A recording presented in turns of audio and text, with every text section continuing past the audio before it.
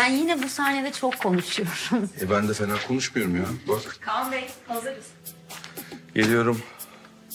Saçım nasıl? Ee, bir Dyson Supersonic dokunuşu ister.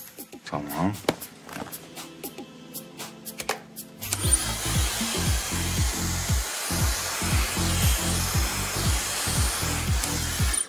Biliyorsun bu işi.